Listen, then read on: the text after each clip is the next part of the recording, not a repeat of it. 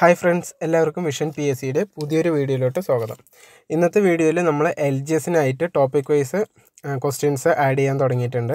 അപ്പോൾ ഇന്ന് ഡിസ്കസ് ചെയ്യാൻ പോകുന്നത് അസ്ഥികൾ എന്ന പാട്ടിലെ കുറേ എല്ലാ ചോദ്യങ്ങളാണ്. മുൻവർഷങ്ങളിൽ ചോദിച്ചിട്ടുള്ള മുഴുവൻ ചോദ്യങ്ങളും ആഡ് ചെയ്തിട്ടുണ്ട്. അതുകൂടാതെ അവസാനം ഒരു പത്ത് മാർക്കിനുള്ള മോക്ക് ടെസ്റ്റ് കൂടി ആഡ് ചെയ്തിട്ടുണ്ട്. അപ്പോൾ നിങ്ങൾ വീഡിയോ മുഴുവനായിട്ട് കാണുക. തീർച്ചയായിട്ടും മോക്ക് ടെസ്റ്റ് കൂടി അറ്റൻഡ് ചെയ്യുക. കമന്റ് ബോക്സിൽ നിങ്ങളുടെ മാർക്ക് കൂടി ആഡ് ചെയ്യാനായിട്ട് മറക്കരുത്. ഓക്കെ അപ്പോൾ നമുക്ക് ആദ്യത്തെ ചോദ്യത്തിലോട്ട് കടക്കാം. ഒന്നാമത്തെ ചോദ്യം. മനുഷ്യ ശരീരത്തിലെ ആകെ അസ്ഥികളുടെ എണ്ണം. മനുഷ്യ ശരീരത്തിലെ ആകെ അസ്ഥികളുടെ എണ്ണം. എല്ലാവർക്കും അറിയാം ഇരുന്നൂറ്റി ആറാണ്. ഓക്കെ അപ്പോൾ അത് എങ്ങനെയൊക്കെയാണ് എവിടെയൊക്കെയാണെന്ന് ഒന്ന് നോക്കാം.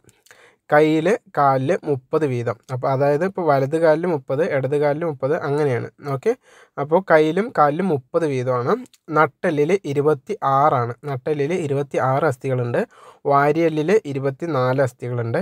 വാരിയല്ലാണെങ്കിൽ ഇരുപത്തി നാല് തലയിൽ തലയിലെന്ന് പറഞ്ഞാൽ ടോട്ടലായിട്ട് ചോദിക്കുകയാണെങ്കിൽ ഇരുപത്തി ഒൻപത് പക്ഷേ തലയോട് എന്ന് എടുത്ത് തലയോട്ടിൽ എന്ന് എടുത്ത് ചോദിക്കും. സാധാരണ അങ്ങനെയാണ് ക്വസ്റ്റ്യൻ വരിക. അപ്പോൾ ഇരുപത്തി രണ്ടാണ് ഓക്കെ തലയിലെന്ന് പറഞ്ഞാൽ ഇരുപത്തിരണ്ട് തലയോടിൽ ചെവിയിൽ ആറ് ഹയോയിഡ് നമ്മുടെ കഴുത്തിലുണ്ടല്ലോ ആ അസ്ഥിയും കൂടി ചേർത്തിയിട്ടാണ് ഇരുപത്തി ഒൻപത് അസ്ഥി ആവുന്നത് തലയിൽ ഓക്കെ അടുത്തത് മാറൽ. മാറലിൽ ഒന്ന് തോളൽ നാല് ഇടുപ്പൽ രണ്ട്. അങ്ങനെയാണ് ഇരുന്നൂറ്റി ആറ് അസ്ഥികളാവുക. ഓക്കെ രണ്ടാമത്തെ ചോദ്യത്തിലോട്ട് കിടക്കാം.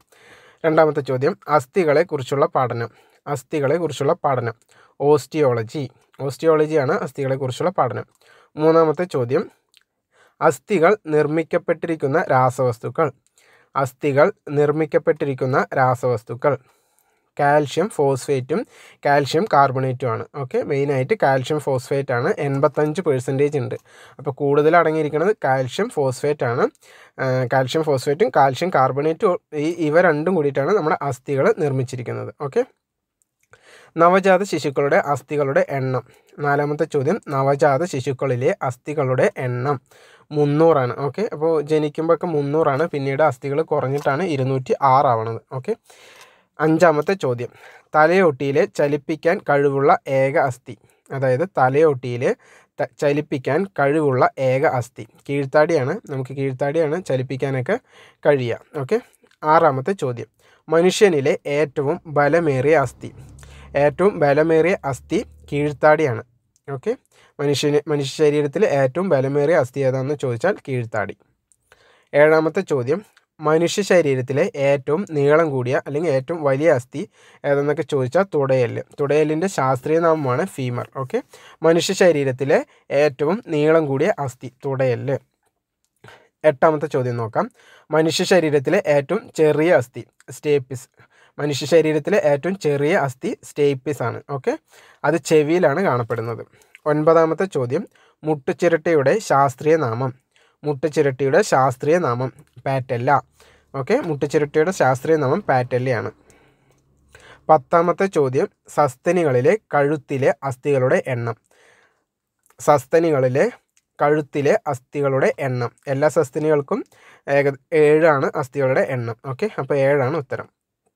പതിനൊന്നാമത്തെ ചോദ്യം. രണ്ടോ അതിലധികമോ അസ്ഥികൾ ചേരുന്ന ഭാഗം. രണ്ടോ അതിലധികമോ അസ്ഥികൾ ചേരുന്ന ഭാഗം. സന്ധി. ഓക്കെ. പന്ത്രണ്ടാമത്തെ ചോദ്യം. ചലനശേഷികൾ ഏറ്റവും കൂടിയ സന്ധി. ഗോളര സന്ധി.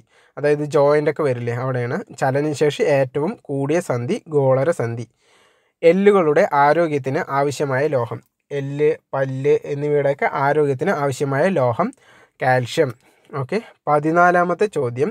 ചലിക്കുന്ന വസ്തുക്കളുടെ ചലനം സുഗമമാക്കാൻ സഹായിക്കുന്ന ദ്രവം. ഓക്കെ. ചലിക്കുന്ന വസ്തുക്കളുടെ ചലനം സുഗമമാക്കാൻ സഹായിക്കുന്ന ദ്രവം. സിനോവിയൽ ദ്രവം.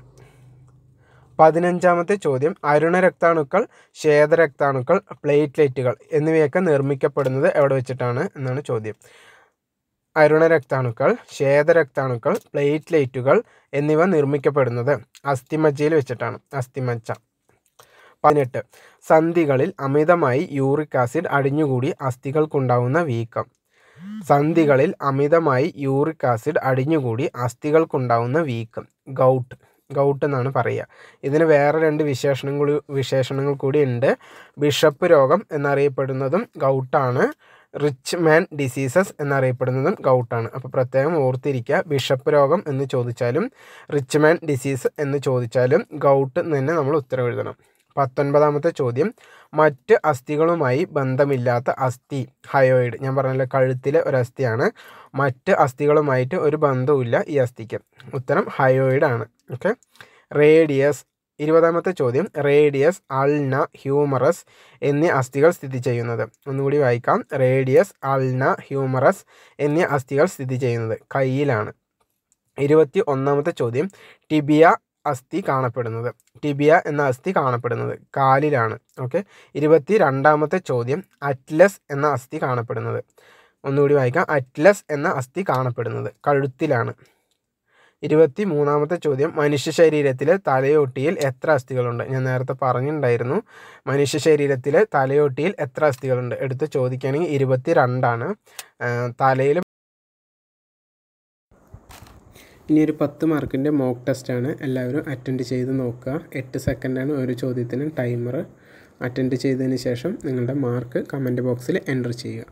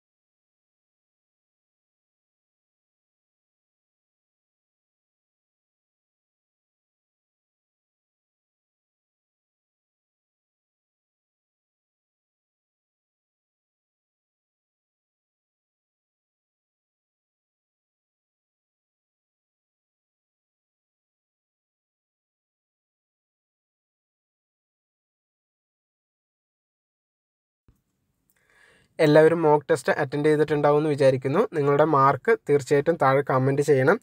കൂടാതെ വീഡിയോ ഇഷ്ടപ്പെട്ടിട്ടുണ്ടെങ്കിൽ ലൈക്ക് ചെയ്യുക നിങ്ങളുടെ സുഹൃത്തുക്കൾക്കും ഷെയർ ചെയ്യുക. ആദ്യമായിട്ടാണ് നിങ്ങൾ ചാനൽ കാണുന്നതെങ്കിൽ തീർച്ചയായിട്ടും സബ്സ്ക്രൈബ് ചെയ്യുക. അടുത്തുള്ള ബെല്ലൈക്കൺ കൂടി എനേബിൾ ചെയ്യുകയാണെങ്കിൽ വീഡിയോ ഇടുമ്പോൾ തന്നെ നോട്ടിഫിക്കേഷനായിട്ട് ലഭിക്കുന്നതാണ്. അപ്പോൾ എല്ലാവർക്കും താങ്ക്